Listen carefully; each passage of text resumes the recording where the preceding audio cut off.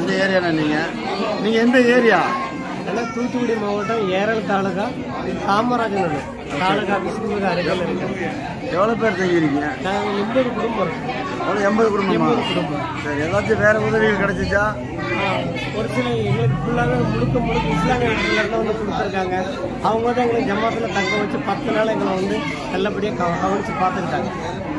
இந்த இந்த உதவி யார் கொடுக்குறான்னு தெரியுமா? அது. யாரு? இந்த வகையில் தமிழ்நாடு முஸ்லீம் முன்னேற்ற மக்கள் கழகத்தில் எந்த ஊருக்காரங்க? தாமமுக வேட்பாளர். திருப்பூர். சொல்லிடுங்க. தாமமுக திருப்பூர் கிளையிலிருந்து வந்து கொடுத்துருக்காங்க. சரி.